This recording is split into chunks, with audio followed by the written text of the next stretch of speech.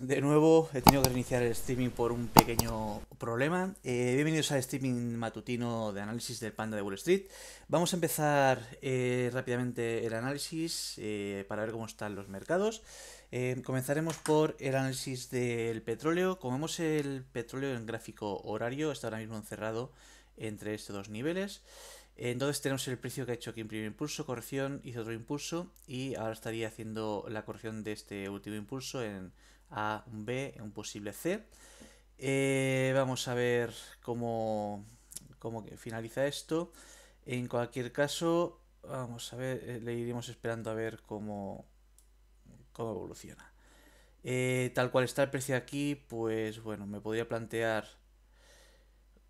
aquí es un poco, esto aquí es un poco mixto, ya que me puedo plantear que este impulso tiene esta corrección y ahora está haciendo este impulso de aquí, o que el precio tras esta corrección eh, con su, o sea, este impulso con su corrección, pues puede hacer otra onda hacia abajo. Entonces, este en este caso no lo veo demasiado claro, así que vamos a ver em, cómo, se mueve esto posteriormente.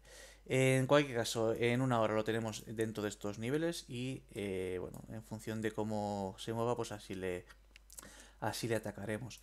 Eh, vamos a ver, vamos a entrar un poco más en un más corto plazo, desde el día 27 de abril. Desde aquí pues tenemos que tras este impulso el precio ha corregido, nos ha hecho este doble suelo aquí. Ayer rompió y por la mañana pues esperábamos que hiciese una, pequeña corrección a la zona para incorporarnos eh, y vamos a ver luego en 5 minutos si realmente llego a hacerla. Las zonas que, nos, que teníamos aquí interesantes sería esta zona de aquí como zona de posible corrección, siempre y cuando quiera hacerla. Vemos que ahora está habiendo un poco de, de acumulación, o sea, distribución en esta zona de aquí, así que no, descartaría pues que venga a corregir un poco más. Eh, vamos a ver.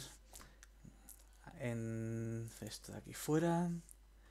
Aquí lo que también tenemos que nos está haciendo este triángulo de aquí. Vamos a dibujarlo. Vale. Y a ver si el precio pues acaba de eh, confirmar. Eh, ayer dijimos que el precio en esta zona de aquí de la línea esta verde eh, tenía una orden, una zona de superorden que el precio muy probablemente iba a venir a visitar. Como vemos, lo hizo a las 11, bueno, a final de las 9 de la mañana, con lo cual esto de aquí ya lo cumplió. Y vamos a ver en 5 minutos cómo se presenta la mañana. Vale. En el gráfico de 5 minutos vemos que efectivamente esto de aquí se ha puesto en rango, en esta zona de aquí. Muy probablemente se esté distribuyendo. Así que el precio si no, consiguiese romper, pues muy, probablemente vendría a corregir, a buscarnos, pues como mínimo la zona de los 64, eh, ya que es un buen punto para que el precio descanse y pueda retestear cómo están estos niveles. En cuestión de superórdenes, que sabéis que bueno, me gusta ver cómo están las órdenes, eh, la orden grande en los 63 sigue activa, tenemos un paquete de 25.200 contratos. Así que esto nos da también más fuerza a que el precio pues quiera venir a, visitar estas zonas pues para ver cómo está el precio. Vamos a recolocar la señal de dónde está el paquete de la superorden. Yo le llamo superorden porque orden iceberg es como más difícil de pronunciar, me, parece más pesado de pronunciar. Eh, vamos a ver. Vale.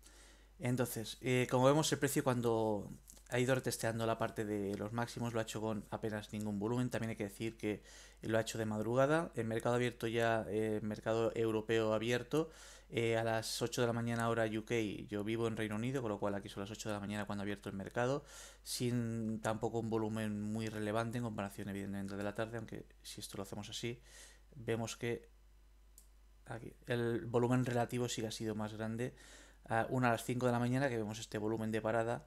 Eh, otro a las 6.50, o sea, 7.50 hora española, que ha habido también un gran volumen aquí también, que el precio lo, han parado. Eh, y a partir de ahí, pues el precio se ha quedado un poco en rango. Así que de momento aquí no tenemos entrada clara, el precio está totalmente encerrado en esta zona de aquí. Y mientras esto pues sigue aquí, pues en principio poco podemos operar. Sí que es verdad que el rango es amplio, estamos hablando de que eh, son 600, son 700 dólares eh, prácticamente de rango entre la base y esta parte de aquí, pero como aquí el precio ahora mismo se nos puede girar en cualquier momento, no me da mucha fiabilidad. eh, en un minuto pues tampoco cambia mucho la cosa. Vemos que efectivamente el precio ahora mismo está en tierra de nadie. Así que ahora mismo el petróleo pues vamos a esperar a ver cómo, cómo evoluciona a lo largo de la mañana para que se bueno, nos dé un poco más de tendencia. Yo ahora mismo la tendencia aquí no la veo clara. Eh, con lo cual si tendencia pues prefiero, prefiero no tocarlo. esto vamos a ver aquí. Eh, pues lo dicho, vamos, eh, sin enrollarme mucho, en resumen, esperaré básicamente que el precio pues o rompa esta línea de tendencia que está haciendo aquí de este triángulo que veíamos en, en, esta zona horaria. Esperaré que lo rompa para que bueno, me dé señal de largos. Y esperaremos a que llegue a esta zona de aquí, esta base, o a poder ser los 64 o incluso los 63, que es la zona que me está diciendo el paquete de órdenes que quiere venir. En cualquier caso, ahora mismo, mm, bueno, no lo veo muy interesante, salvo que realmente es mi saga de, este lateral. Vamos a ver cómo se presenta el oro. Vemos aquí el oro, ayer lo teníamos encerrado en este canal. Vamos a quitar esto de las noticias. He dejado los dibujos ayer para que se viese, bueno, que analizamos cómo se ha movido el precio y a partir de aquí pues ya borramos lo que no queramos. El precio ayer estaba metido dentro de, este, de este canal bajista, lo rompió y nos ha hecho un, un throwback a, la zona de a la zona del canal. Eh, vamos a ver, también nos coincide con esta zona así, esta zona aquí tendríamos este soporte, aunque no es un soporte que me guste mucho porque se ha roto un montón de veces, pero bueno, en cualquier caso un sitio interesante donde el precio pues podría empezar a girarse ya que coinciden ambas, eh, tanto la, línea de tendencia bajista que ahora se ha convertido en un soporte como esta zona de aquí, que insisto no es el mejor soporte. Sí que es verdad que esta vela de aquí, que también tiene aquí la base, es la vela de, que tiene mucho volumen, con lo cual también es una vela que se convierte en soporte. Estas velas grandes de mucho rango y mucho volumen eh, son soportes y resistencias eh, por sí mismas. En cualquier caso, no es un soporte súper fiable, así que vamos a ver qué, creo que quiere hacer el precio. En esta zona el precio ha tenido varios rechazos, pero tampoco se ha movido con mucha decisión. Pasamos al gráfico de 5 minutos. Vale. En el gráfico de 5 minutos vemos como el precio efectivamente pues ha hecho esta zona de este pullback a la zona del canal que aquí pues no se ve. Vamos a ver si... Muy bien, pues nada, no puedo verlo. No puedo ampliar más, ¿no? Pues vamos a intentar ponerlo ¿eh? en 30 minutos.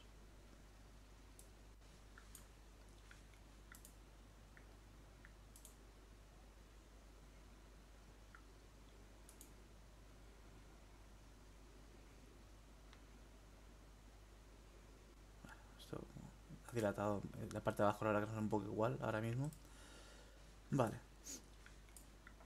Pues así podremos ver en 5 minutos el canal. Pues como vemos aquí, en 5 minutos ha, corregido hasta el canal y a partir de aquí vamos a ver qué está haciendo el precio. El precio cuando se ha, tocado aquí se ha lateralizado un poco, ahora mismo estaría creando un triángulo alcista, que sería este de aquí.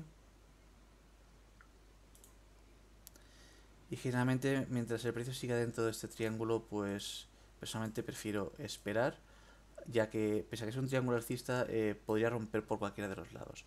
Eh, ahora mismo pues, bueno, vemos que está, el precio se está comprimiendo, cada vez los máximos y mínimos son más comprimidos. Eh, pese a que bueno, los máximos son al mismo nivel, en este caso están los 17.87, pero sí que es verdad que los mínimos son mínimos crecientes. hay que esperar a ver que rompa en, alguna de las direcciones, ya que, bueno, efectivamente, pese a que generalmente este triángulo eh, a ser un triángulo alcista, está aquí, podría tirar para arriba, pero eh, normalmente los triángulos que se forman tras un impulso bajista son triángulos de continuación, eh, pero suelen ser más cuñas, no triángulos alcistas como en este caso. En resumen, hay que esperar a ver que rompa para ver qué señales nos da el, el oro. En cuestión de superórdenes, vamos a ver, tenemos un paquete de órdenes en los 1800 de mm, mm, mm, vamos a ver de 17.300 vamos a ver aquí para que lo podáis ver perfecto aquí vemos eh, normalmente esto está la batería vemos que el, en esta zona aquí está todo muy estrecho, significa que tenemos una orden grande en alguna zona, bajamos y la localizamos aquí. Aquí podéis ver que es un paquete de 17.300 en los 1.800. Esto lo voy a poner diferente, ya que la profundidad no me hace falta. El spread, spread que hay, pues tampoco lo necesito. Nos guía. Así que aquí vemos únicamente el nivel de precio y en la orden, eh, que son los 18.000. Eh, vamos a marcar los 18.000 si no lo teníamos ya la superorden, que ya la tenemos aquí. Perfecto. Pues los 18.000. Nada más que está bien porque el 18.000 nos coincide con los máximos que tuvimos ayer. Así que es una zona que estaría bien que viniese a revisitar. Eh, bueno, en principio se nos pone interesantes para largo, más después de la rotura con el throwback o pullback, para que revisite la zona del paquete de órdenes de los 18.000. Interesante, ya sabemos que esto, sumado a que aquí no está formando un triángulo alcista, eh, nos posibilita una, un trade en posibles largos, pero de luego no ahora, ya que el precio pues podría eh, no romper todavía hacia arriba, podría hacer un doble suelo en esta zona de aquí, revisitando esta zona de volumen que ha habido aquí. Así que de momento tenemos que ser cautelosos y no precipitarnos y esperar a ver qué es lo que quiere hacer el, el precio. Vale, pues a partir de aquí eh, tenemos las órdenes puestas. Voy a quitar para no liarnos el otro paquete de órdenes que ya ha desaparecido que es el que teníamos en el entorno este de los 64. Ahora mismo aquí ya no hay órdenes, así que lo quito. El canal lo voy a dejar todavía dibujado porque eh, nos está marcando esta zona, este pullback em, a la zona. Digo pullback porque cuando digo throwback no se entiende muy bien a veces, así que voy a decir tanto throwback y pullback, lo diré pullback, aunque bueno, uno es depende si rompe alcista o rompe bajista, pero en cualquier caso se me entiende mejor si digo un pullback. Eh, dicho lo cual, pues aquí me voy a esperar a ver que se defina, eh, en este caso me interesaría la parte alcista, pero si rompe por debajo de estos mínimos, pues empezaría a plantearme cortos. Desde luego, eh, ahora vemos cómo, cómo, ataca el triángulo este, triángulo que por cierto vamos a dibujarlo bien, ya que este mínimo en realidad está aquí, y el triángulo sería esto de aquí. vamos a ver cómo está el Nasdaq, que es el que a mucha más gente le interesa, y a mí sabéis que me pone bastante nervioso. Eh, vamos a ver, Nasdaq lo tenemos aquí ayer en una zona de distribución. Vamos a ver. Bueno, ya lo sabéis eh, mucha gente, imagino, pero para quien no lo sepa, lo que hago para mover el gráfico así para abajo y para arriba en Ninja, le das a control y así puedes mover eh, el gráfico como te dé la gana. vamos a ver, vamos a estirar aquí un poquito para que sea mejor.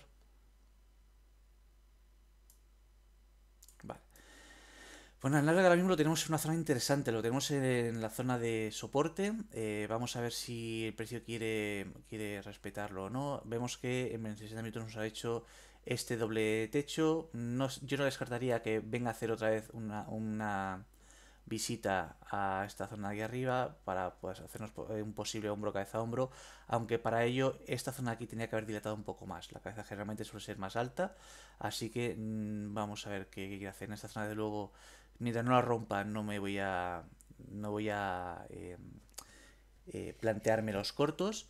Eh, pese a que esto generalmente tira más a este doble techo aunque ha pegado en realidad son tres o cuatro veces em, no descarto un posible una posible cita para hacer un hombro cabeza a hombro aunque esto para el mundo de momento para mí sigue siendo una distribución y mientras no la rompa, pues eh, nos resistaremos. ¿Me plantearía largos? Pues muy probablemente, si me rompe por encima de esta zona, me voy a plantear largos buscando la zona de los 14.050, que para buscar otra vez en la parte de arriba. Eh, vamos a ver en 5 minutos para afinar un poco más eh, la zona de posible entrada o donde nos encontramos. Vamos a ver. Esto vamos a hacer va a ser que nos cargue más días. Eh, vamos a poner aquí, nos carga menos un mes para poder ver mejor. Vale. Bueno, pues aquí como vemos estamos dentro de este lateral. Aquí el precio ah, está aquí eh, redistribuyendo, o sea, distribuyendo, tenemos aquí y ahora lo tenemos aquí haciéndonos este eh, doble suelo. A partir de aquí pues nos plantearemos, como digo, si el precio pues nos empieza a ir por encima de esta zona, vamos a ver... me plantearía largos, aunque de momento esto ahora mismo eh, bueno, no está para largos, la tendencia está viniendo siendo bajista en, en gráficos de minutos desde el día 29, aunque hay que tener en cuenta que efectivamente aquí en una hora tenemos una zona de soporte que es probable que podría parar el precio. En cualquier caso aquí el volumen está siendo muy, muy bajo, también hay que tener en cuenta la hora que es. El volumen relativo, vamos a ver, en apertura europea, que no es lo que tampoco afecta al Nasdaq, pero bueno, está siendo bastante más elevado y nos podría indicar que esto es un volumen de parada, ya que no, no veo que haya mucha intención en romper cuando el precio está rechazando. Entonces, me planteo ya largos, eh, muy posiblemente no mientras no me rompa esa zona aquí. En otro, si, si no tuviese toda esta zona, toda esta caída, todo este impulso bajista, eh, me podría plantear los largos buscando pues igual este rango de aquí. Lo que pasa que siendo la tendencia bajista, plantearme eh, los largos mientras no me trabaje por encima del último máximo, em, estoy yendo un poco en contra de la tendencia a corto plazo. Entonces es probable que si entro largo aquí, el precio me dilate y me eche. Así que largos no me los plantearía mientras no me rompa por aquí. Y cortos eh, me los podría plantear cuando rompa por debajo de los mínimos. Eh, así que aquí tenemos el Nasdaq. En cuanto a tema de órdenes, eh, también tenemos órdenes en el, en el Nasdaq. Vamos a ver cómo están está bastante más mixto, así que es verdad que en comparación a estas que son las que tenemos en el nivel de ahora, que hay órdenes, también voy a quitar esto que no nos líe. Vamos a ver que hay 300, 100 órdenes, 200. La orden grande que tenemos, que es esta de aquí, son 9.500 contratos en torno a los 13.700. Así que estando en que en los 13.733, mm, no es ninguna locura que precio venga a testear eh, la zona de, de, esta orden antes de subir para arriba. O sea que nos podría dilatar, ya que teniendo la orden en los 13.700, eh, es, es, bastante probable que venga a visitarnos. Ten en cuenta que el 13.700 está justo aquí al lado, así que los voy a marcar. Bueno, perdón, antes de mover esto, los teníamos por aquí. Ayer veíamos que eh, teníamos el precio en. Teníamos este bloque de órdenes ¿vale? A las 9 de la mañana los habíamos marcado, ¿vale? Entonces por la tarde revisitó uno, uno, uno y el otro, o sea, revisitó los dos niveles de superórdenes que, que teníamos, así que, bueno, siempre es, interesante pues tenerlos en cuenta porque muchas veces el precio pues los visita. No sabemos en qué momento, pero sabemos que estando un paquete de superórdenes ahí, es probable que el precio vaya. Eh, vamos a marcar donde tenemos aquí el paquete de órdenes ahora.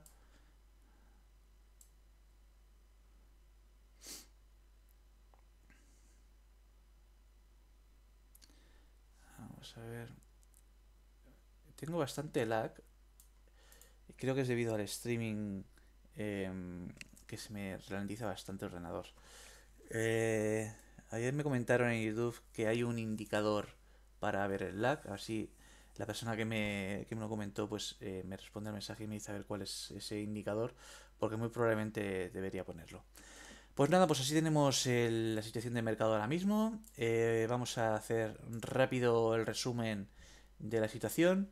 Nasdaq lo tenemos ahora mismo en zona de soporte en horario, pese a que eh, en esta zona de aquí, que además que coincide con el suelo este de aquí, ahí lo tengo marcado, este suelo de aquí, ¿vale? Que es el soporte real. Tenemos también un paquete de superórdenes, así que el precio eh, muy probablemente venga a, venga a testear esta zona de aquí antes de una posible vuelta. Si para que rompa, pues lógicamente si rompe por debajo de estos mínimos, una vez me haga un pequeño pullback, eh, me plantearé los cortos. Ahora mismo tal cual está aquí, mientras no me respete esto, pese a que esta tendencia ha sido bajista, el soporte en una hora es bastante fuerte y mm, tengo que esperarme a ver que, cómo, cómo lo retestea. El petróleo, vamos a verlo de nuevo, el petróleo pues lo tenemos ahora mismo en esta zona de este triángulo de aquí. Este es un triángulo de continuación, eh, en este caso. Eh, entonces, bueno, un triángulo de continuación pasa que también tiene un poco de eh, tendencia poco bajista este triángulo, ya que los máximos son cada día cada vez menores. Pero, bueno, no descarto que se rompa, ya que, bueno, después de este impulso, esto parece más una. Una. bueno, ahora no me sale la palabra, leche. Eh, qué rabia me da cuando no me salen las palabras. Bueno, básicamente está, está, ahora mismo pues, descansando después de este impulso y vamos a ver aquí a partir de qué quiere hacer. Me gustaría que antes de romper me hiciese eh, un pullback a este nivel de aquí, ya que es una zona que el precio pues tuvo aquí este, esta zona de soporte, resistencia, aquí de soporte. Entonces, mm, antes de una rotura me gustaría más que viniese a visitarla más después de tocar esta línea de tendencia aquí. Que toque aquí, entonces sí que me, haga de nuevo si quiere la zona de rotura. Aunque bueno, es probable que siendo un triángulo el precio venga aquí, incluso lo rompa, retesté esta zona aquí donde además tenemos un paquete de órdenes para luego intentar volver a subir de nuevo. Esto es en gráfico horario, o sea que esto se puede desarrollar a lo largo de todo el día o incluso podría tardar un par de días. Eh, en 5 minutos, leche consolidando, es la palabra que no me salía. Aquí efectivamente en 5 minutos pues tenemos el precio ahora mismo haciendo este rango de, de distribución, lo cual da un poco más de fuerza a la idea de que el precio pues, pueda venir a buscar soporte en los 64 o retesar de nuevo los 63. En cualquier caso, no me planteo largos mientras no rompa el triángulo por arriba y cortos no me los planteo mientras no me rompa esta zona de aquí. Eh, ya sé que aquí estoy diciendo que el precio puede venir a descansar aquí, pero tenemos bastante eh, rango para, una, para una, un trade, eh, ya que si entramos en 29 tenemos la zona target en 96 Estamos hablando que son más de 300 dólares de, target, lo cual es más que suficiente para un trade, siempre y cuando el precio, pues, eh, de la estructura del precio nos permite tener un, un, un, stop, una zona de protección que no sea tan arriba, ya que aquí básicamente sería un 1 a 1 y no es, eh, no es un ratio riesgo-beneficio que me haga mucha gracia, ¿vale? Aunque aquí ves, nos quedaría justo en la zona. Bueno, sería asumible no es mi ratio favorito, el 1 a 1, pero bueno, lo puedo asumir eh, si, si, es uno de cada X trades, lo puedo asumir. Último, el oro, nos vamos al oro que como lo decimos tenemos ahora mismo en este triángulo de aquí. Eh, nos ha dilatado un poquito y ahora el precio está rechazando. No vamos a entrar en cortos mientras mm, bueno, no rompa los mínimos de los 83 con, o, con 5 y no me planteo largos mientras no me rompa los 87. Eh, tema de super órdenes. Hemos dicho que tenemos una orden grande los 18.000, que además coincide entre este impulso y la corrección, que la corrección se ha realizado en la zona del canal, también nos coincide en esta zona de soporte de aquí. Veremos a ver si una vez nos rompa podemos aprovecharnos del impulso hasta los 18.000. Parece poco, pero esta rotura desde, desde el triángulo hasta los 18.000 que tenemos el paquete de orden, estamos hablando de un trade de prácticamente 1.000 dólares, ¿vale? O sea que es un trade muy bueno si nos permite hacerlo y lo vemos, ya que en breve voy a cerrar el streaming y muy probablemente pues no vea la rotura si se produce más allá de las 9 de la mañana. Que por cierto, hora es? Son menos 10. Y en fin, pues hasta aquí este el análisis de esos tres activos. Em, mira, una cosa curiosa, antes de cerrar el streaming, el Nasdaq, bueno, ahora no sé si lo habréis visto, se está poniendo mixto. ¿Ves cómo se cambia de orden? Esto básicamente porque eh, la orden grande me sale de los niveles que tengo que, por ejemplo, aquí tengo puesto que el, el Deep Market es de 150. Tengo niveles de precio de 150 niveles por encima y por debajo del precio actual. Eh, entonces cuando se sale de... La orden grande sale de este nivel, pues todos los demás precios pues vuelven a ponderar y se vuelve a, recolocar. En este caso cuando la superorden esa grande eh, se me va, ahora mismo la orden más grande que tengo son las de eh, en 3.800 contratos en 13.726, ¿vale? Eh, que es la zona de soporte que tendríamos aquí seguramente, vamos a verla. 26, efectivamente, tenemos aquí, ¿veis? Este soporte de aquí